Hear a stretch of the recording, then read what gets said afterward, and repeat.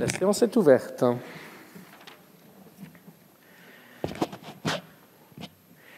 L'ordre du jour appelle la discussion sur le rapport de la commission mixte paritaire, la proposition de loi rénovant la gouvernance des services publics d'eau potable et d'assainissement en Guadeloupe. La parole est à Madame Justine Bénin, rapporteure de la commission mixte paritaire, pour cinq minutes.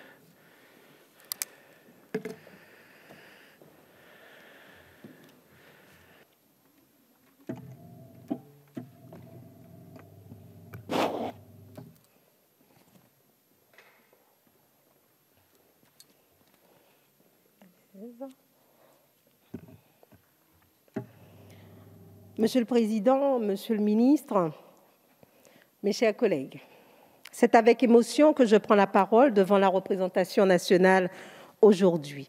Nous sommes arrivés à l'étape finale de l'adoption d'un texte crucial pour nos compatriotes de Guadeloupe.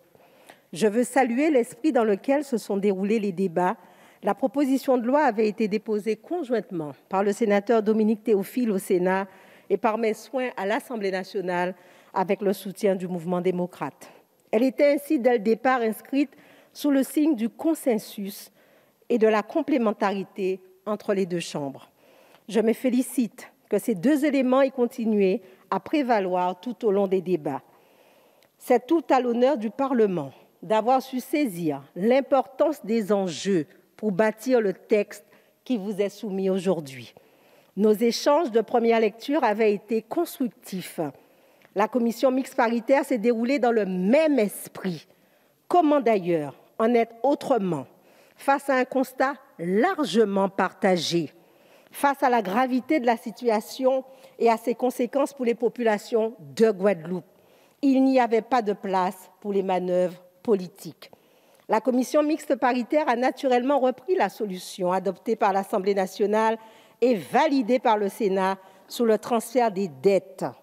Le texte est également enrichi des apports de nos collègues sénateurs auxquels j'étais favorable et qui portaient sur l'assouplissement du fonctionnement du syndicat mixte, de la composition de la commission de surveillance et du renforcement de ses prérogatives. De plus, associer la population à la nouvelle gouvernance est condition sine qua non du retour de la confiance. La confiance, oui, la confiance des usagers, c'est ce qui nous a guidés pour aboutir à un texte juste, un texte pragmatique et juridiquement solide.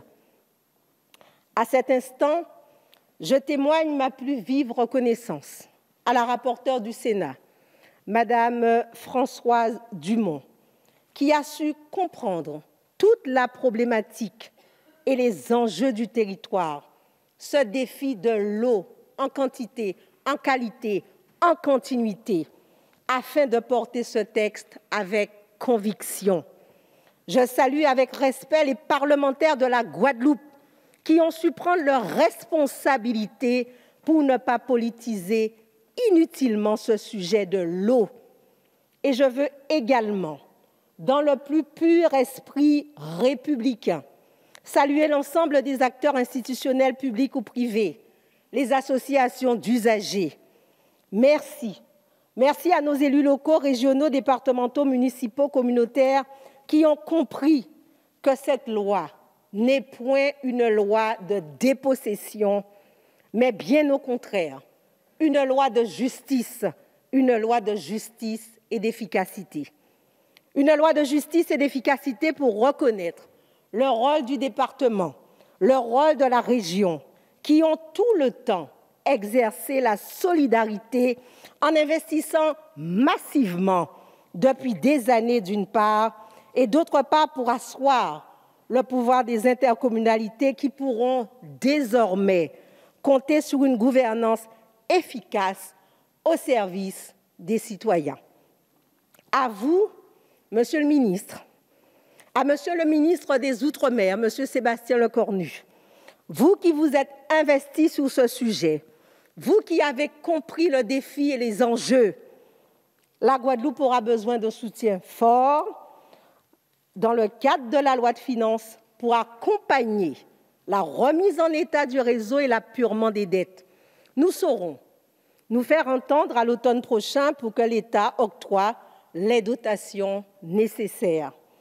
Mes chers collègues, le Sénat a adopté le texte de la commission mixte paritaire le 8 avril. Je vous invite à faire de même.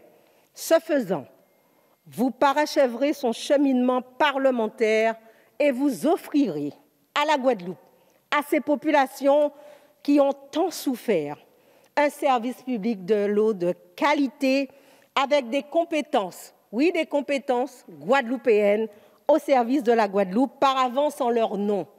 Je vous en remercie.